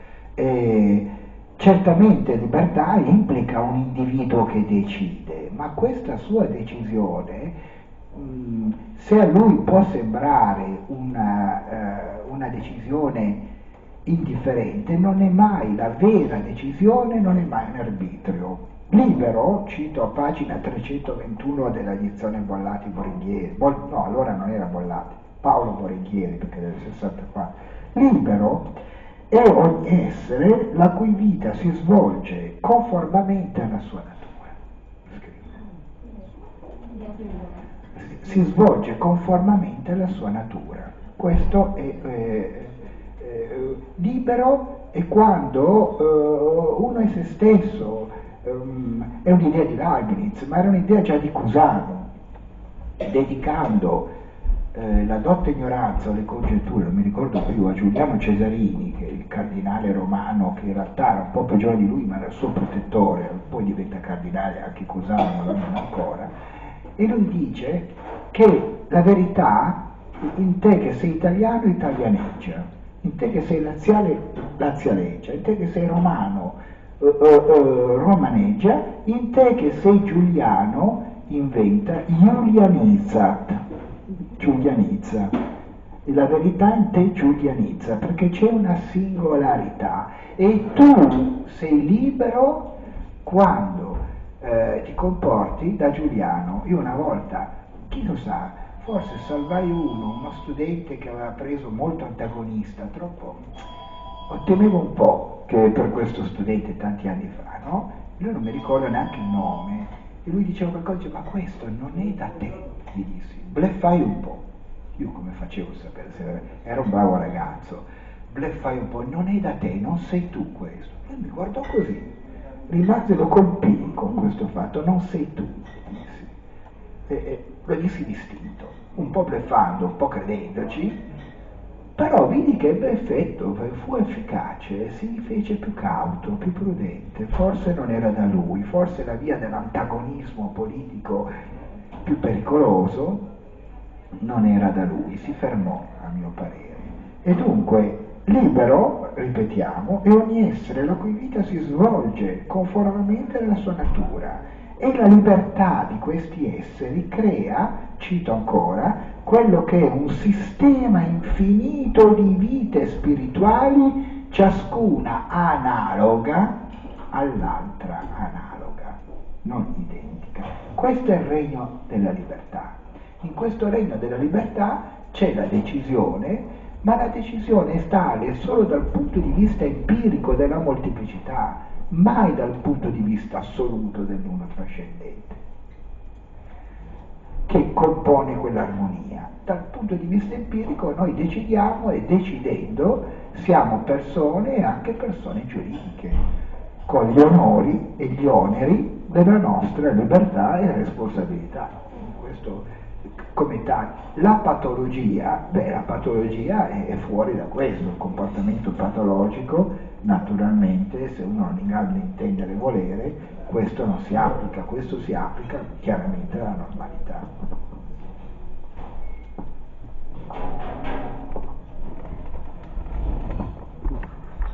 Nel pensiero di Martinetti l'uno tenderebbe al bene. L'uno è il bene. Sì, e il bene tenderebbe a bene negli esseri. E oggi come oggi si pensa di Dio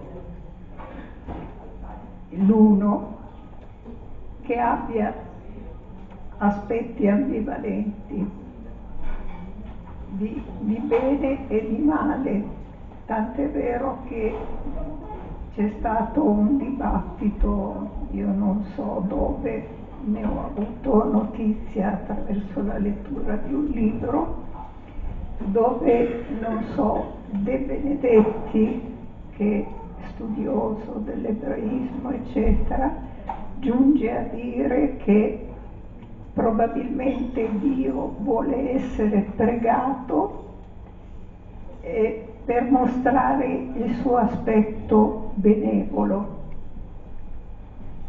e non l'altro. Poi eh, a proposito del della risposta che ha dato all'avvocato Tamburini, che l'uomo libero è quello che agisce secondo la propria natura, questo presuppone una formazione non da poco, che dura anche tutta una vita, è un po' il conosci te stesso. È in questa scia. Sì, ma che dire di quelli che, non, che conoscono se stessi molto parzialmente perché non, hanno, perché non hanno, avuto la possibilità eh, un altro discorso la... e sono la maggioranza. Allora, grazie per le due domande. L'uno ha anche una dimensione negativa, è vero, c'è, eh, eh, prendiamo Vattimo, no? il pensiero dell'uno, scrive Vattimo, è violento, sostiene Vattimo, il pensiero dell'uno è violento intrinsecamente, e questo lo dice Vattimo che io stimo molto, ma non sono d'accordo. Non è, secondo me, oppure Esposito, Roberto Esposito, il concetto di persona è violento perché è esclusivo. Secondo me non c'è un concetto indenne da una sua utilizzazione contraria, manipolante, violenta, a, a partire da quello di Dio stesso. No? C'è chi sostiene che i monoteismi sono violenti perché sono intolleranti. Ah, io questo assolutamente non c'è un concetto, la, la smentita di questo è data a qualsiasi pensatore dell'uno che sia il contra- pensatore coerente, abbiamo detto Plotino, prendiamo Giordano Bruno, eh, un pensatore fortissimo dell'uno in questo, qualsiasi pensatore dell'uno che non sia stato questo smentisce la necessità che dal pensiero dell'uno di scenda un dispositivo di tipo esclusivo e violento e separante. L'uno può essere questo. Etienne de la Boétie, no? eh, quando aveva 16 anni, peraltro, non 17 non ancora compiuti, scrisse un libello, Le Contrain, il contruno, che dagli Ugonotti fu preso a emblema del rifiuto del Papa. Io sono valdese, quindi a me va benissimo questa cosa, però no, era, aveva 16 anni, era un emblema, un pamphlet, l'ultima cosa che voleva dire Etienne la Boissy, che era uno stoico, era rifiutare l'idea dell'unità nel corso delle cose. Stoico a 16 anni, era stoico anche, morì verso i 30. E quindi l'uno in quanto tale non è un concetto che si possa considerare negativamente funziona negativamente quando si piega a usi utili che calpestano una concezione liberale che implica l'autonomia della coscienza. Si piegano quando si uniscono a visioni totalitarie, no? Per Martinetti Dio è orizzonte indivisibile, quindi l'uno è ciò che eh, l'uno potremmo dire funziona mi viene in mente in questo momento, è utile discutere, mi viene in mente in questo momento. L'uno funziona in quel modo quando funziona solo da minimo comune denominatore.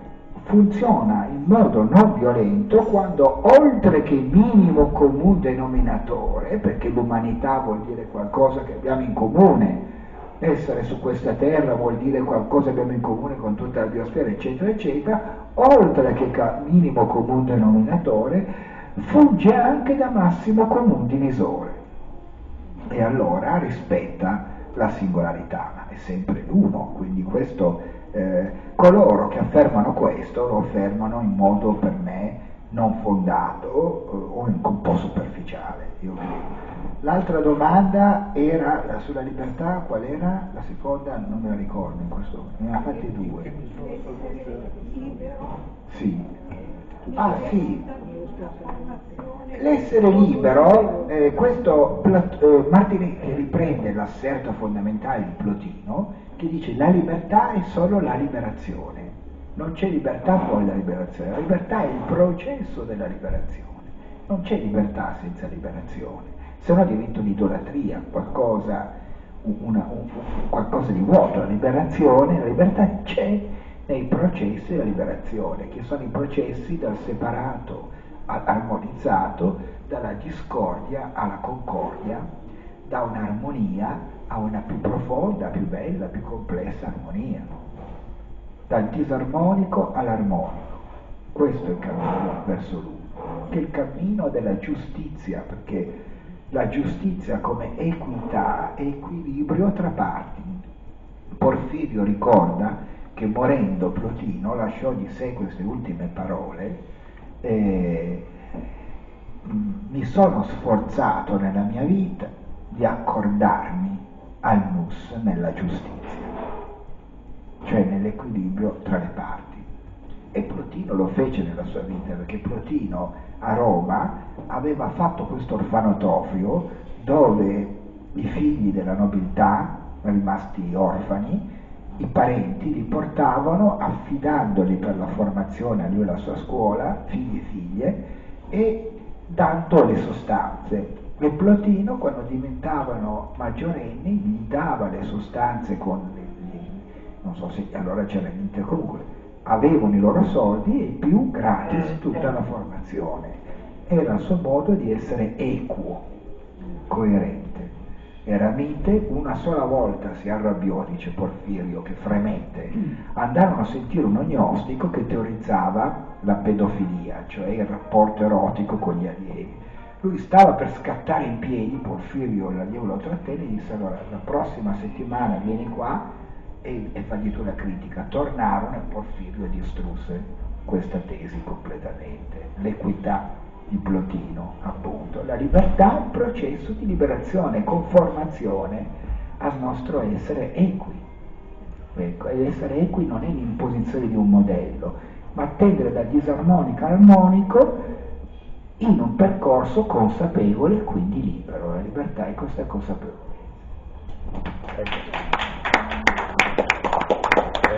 Volevo fare delle piccole considerazioni a proposito di quello che dicevo sul diritto. Ecco. Allora, se la libertà non è qualcosa di definibile, ma è un percorso, nel momento in cui io valuto il comportamento di un soggetto, devo fare riferimento altresì al suo percorso di libertà. Quindi non posso decidere se lui è colpevole o meno, secondo principi generali e universali.